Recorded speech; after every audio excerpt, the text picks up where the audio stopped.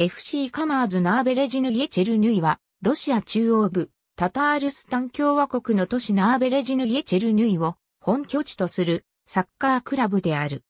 1981年11月11日、トルード PRZ として創立。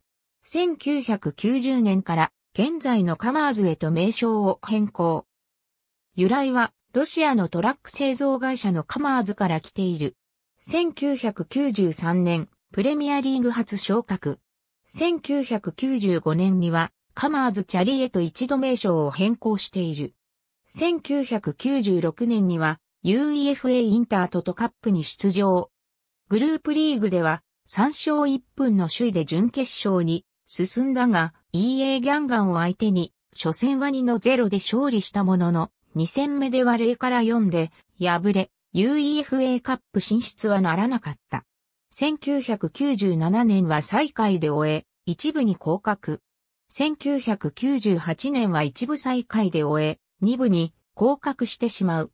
2001年、チーム名をカマーズに戻している。2004年に一部に復帰。復帰後は3位、4位と昇格まであと一歩逃している。なしなし太字はカマーズに在籍時に各国代表に選出された選手である。ありがとうございます。